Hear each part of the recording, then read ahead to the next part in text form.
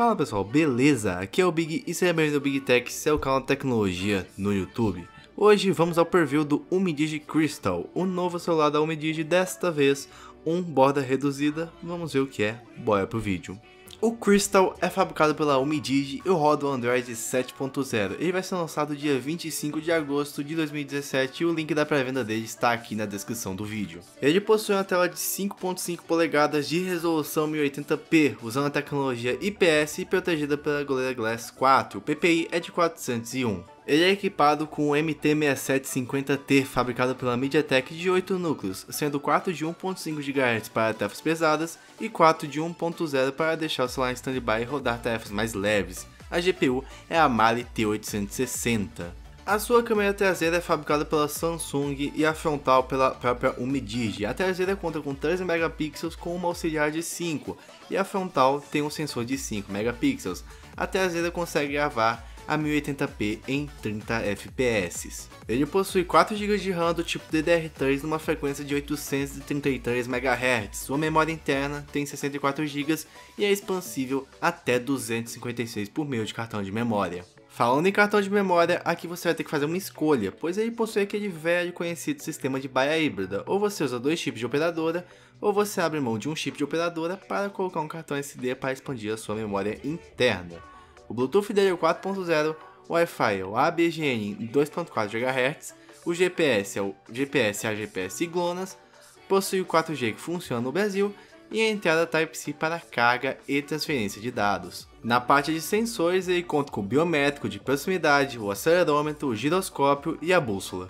A sua bateria tem uma capacidade de 3.000 mAh e é fabricada pela própria Umidigi. A entrada de energia dela é de 5 volts mAh, não possui quick charge e a bateria não é removível.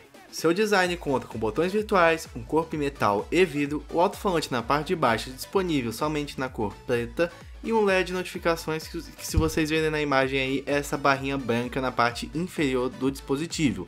Ele pesa 180 gramas e se você quiser ver as medidas dele, espessura, largura e altura, vai estar tá aí, é só pausar o vídeo para você poder assimilar bem. Chegamos finalmente aos prós e os contras do celular e obviamente o valor dele também.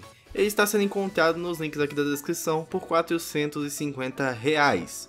Os prós dele ficaram no custo-benefício que está bastante interessante por 450 o aliado de ter borda reduzida e câmera dupla está tornando ele um custo-benefício bastante interessante para a categoria. Segundo, o processador dele que não deixa nada a desejar nas tarefas do dia a dia, como por exemplo WhatsApp, Facebook, Twitter e essas coisas que não são leves, mas também não são tão pesadas, mas precisam sim de um processamento legal para rodarem fluidamente.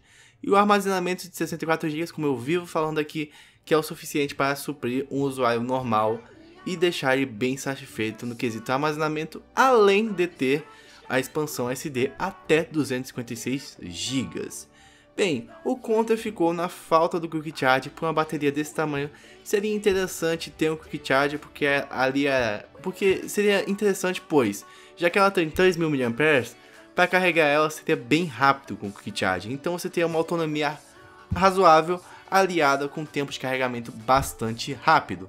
Faltou, mas é uma coisa que talvez para algumas pessoas não seja tão importante assim.